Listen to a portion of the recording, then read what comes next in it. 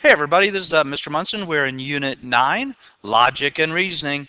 Um, this is pretty much uh, why uh, the state of Virginia requires you to take geometry for graduation.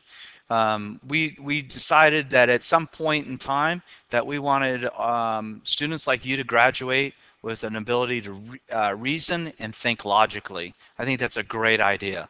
Um, in this section 9.1, we're going to kind of start this, this process looking at patterns and the idea of what inductive reasoning is. Um, I'm going to put uh, I'm going to ask that you put me on pause, and I want you to pull out your student learning map, look at your vocabulary words that are over on the right hand side, pull out your vocabulary words, review those first before going further, so that as I talk about things, I'm not having to explain to you what those words mean. All right, let's go ahead and get started. Put me on pause and get that other stuff done, and then come back when you're ready. Okay, so you look at your student learn map, it says I can use inductive reasoning to arrive at a logical conclusion. So this is just one example of kind of patterns that we might be looking at. And we look at inductive reasoning, as you know from your vocabulary, inductive reasoning is basically looking at a pattern and coming up with your best guess.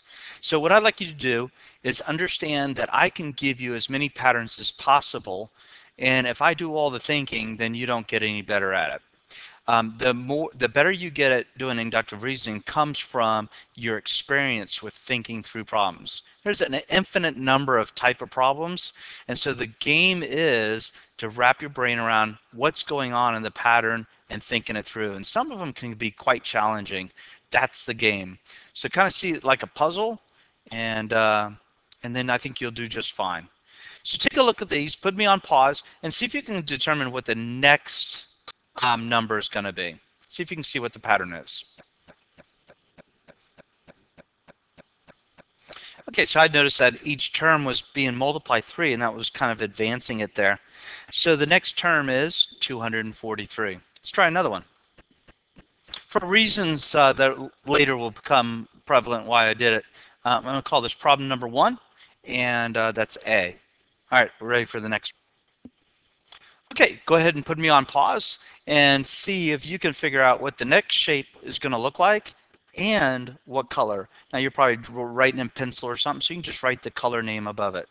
Okay, put me on pause and see what you get.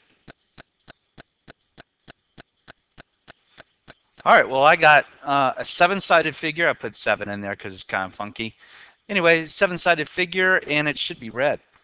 Um, the pattern is, uh, I see this one went green, red, black, and then it came back to green. So I'm assuming it's going to go to red. All right, now this is called inductive reasoning, your best guess. So now when you make a guess like these, right, like this uh, 243, or um, you know this uh, circle with the seven-sided figure, that is called a conjecture. That's one of your vocabulary words.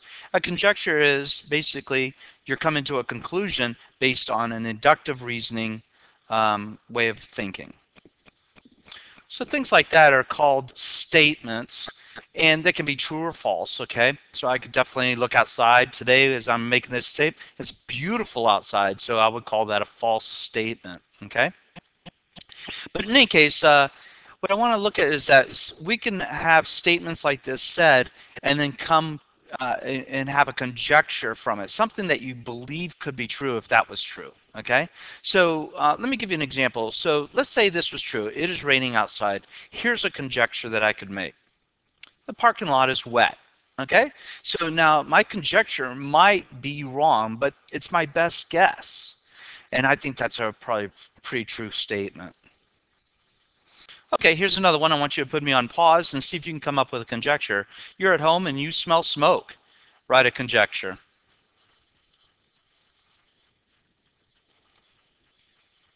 Here's my conjecture. Um, my son is cooking dinner tonight. Now, there's lots of different choices here. You could have said there's a fire in the house. Could be that your mom was cooking. Could be that my wife was cooking. There's lots of different kinds of conjectures that you could have made. There's not any necessarily wrong one. It just needs to make sense.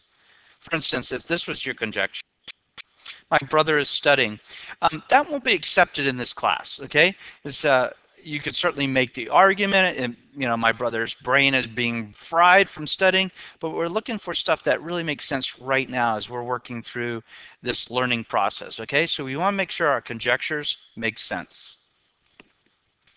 Now, sometimes we make statements, and the statements are false. Uh, all apples are red, and that's certainly uh, false. I've seen lots of different color apples, some green ones, some yellow ones, and things like that. So whenever somebody makes a statement and it's false, then we're required to write a counterexample. So a counterexample to this statement would be Granny Smith apples. Granny Smith apples are green. And so what ends up happening is your counter argument is going to show the first thing happened, apples, but the second thing is what failed. Okay? All right, take a look at this statement. See if you believe it's true or false. If it's false, come up with a counterexample.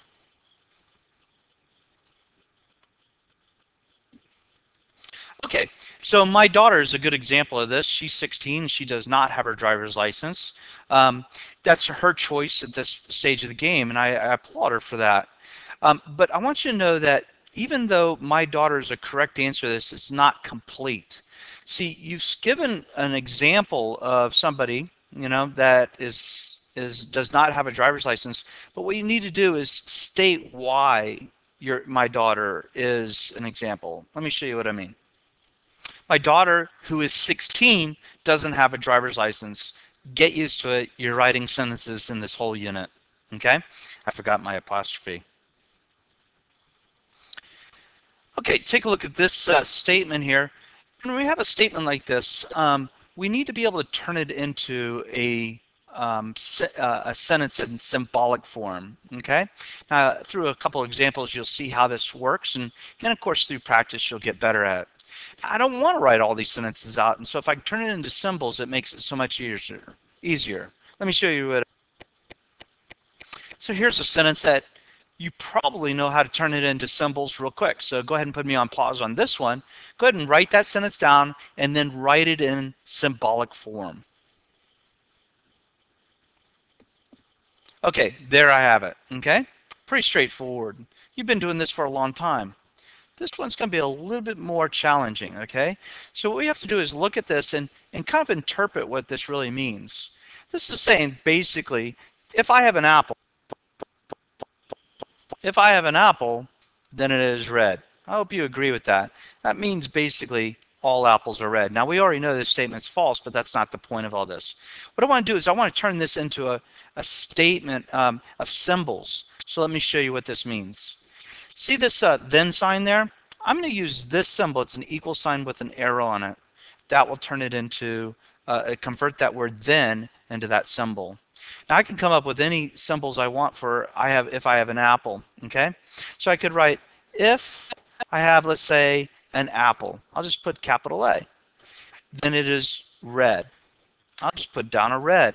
And so now that creates my symbols for that symbol for that sentence.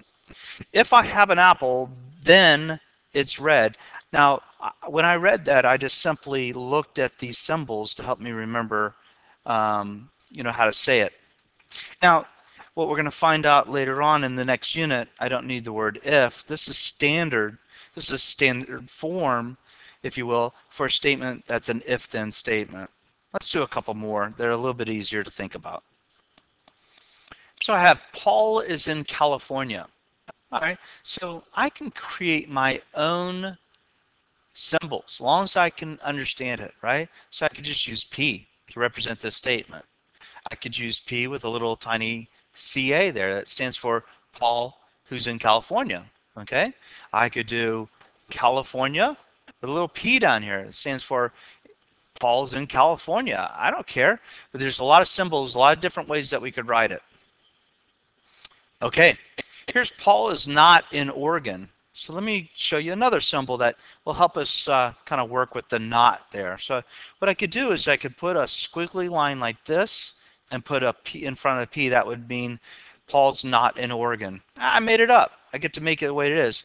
the thing I want to show you is that squiggly line means not, right? I could say something like that, and that stands for Paul's not in Oregon, right? Lots of different variations. Okay, so I have the letter K and the letter Q, and I have this funny arrow in between it that's pointing up. This is the symbol for the word and. Okay, it just basically says whatever the statement K stands for and Q, it says K happens and Q happens or whatever, okay? So that's the symbol for and. So the upside down one stands for or. So K or Q. All right. Keep that in mind. Hope keep those notes handy. I'm going to give you a statement and see if you can write it out. The symbols that I have here are from above. Okay? Let me extend this up so you can see it. So I have the P from above, and I have that symbol, and then I have that symbol. See if you can write in words what that sentence says.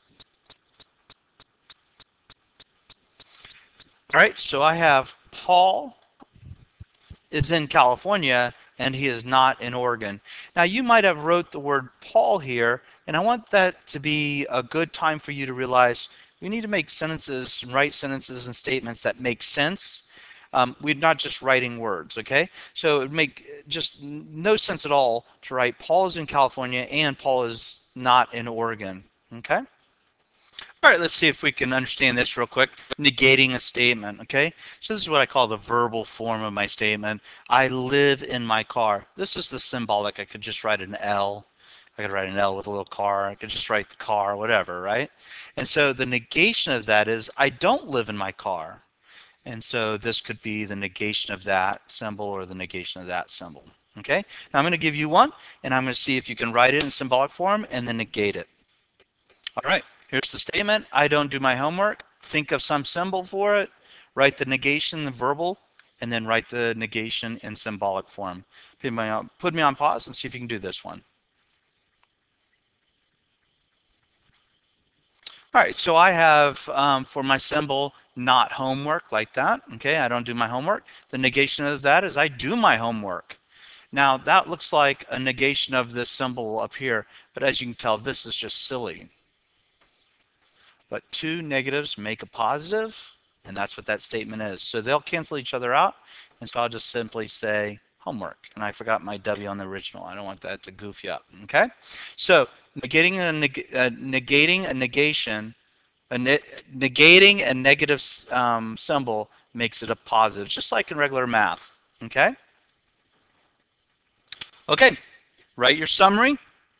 And here's your do it problems. I'll zoom in. I'm going to make a couple of quick comments about each one. So um, let's do that. All right, so on number uh, on the first problem, uh, we're looking for a conjecture on those two, A and B. On number two, uh, you're going to write that statement negation. Number three, write the following symbolic form. Okay. Uh, now this one, there's lots of different variations, so I don't want you to get hung up on which is right or wrong. You need to, if I was to take your symbols and put it up on the board 30 minutes later, would you still be able to read the sentence? But you want to have a minimum number of letters, one, two, three at the most.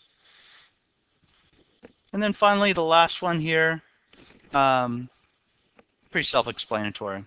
All right, let's see you next time. Take care.